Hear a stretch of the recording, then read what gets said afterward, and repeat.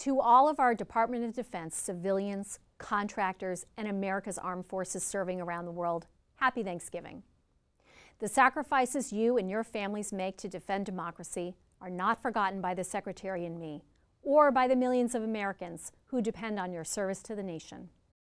I know that many of you are separated from family and relatives this holiday season, whether deployed to NATO's eastern flank, the Indo Pacific region, or aboard ships and submarines providing deterrence and defense around the globe.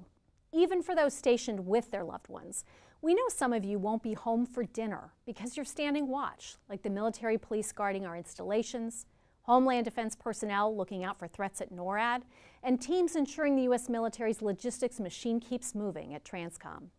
You stand watch so that your fellow Americans can enjoy their holidays in safety and peace.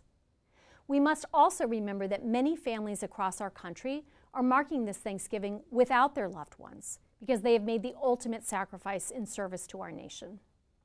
Secretary Austin and I are committed to honoring your sacrifices and theirs not just today, but every day, by ensuring we continue to improve how we care for our nation's most precious resource.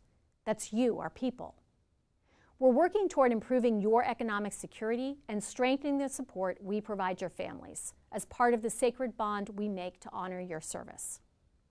So, this Thanksgiving, on behalf of the department, I want to say thank you for all you do, for your unending support, tenacity, and determination and for your willingness to wake up each and every day to face our most pressing national security challenges.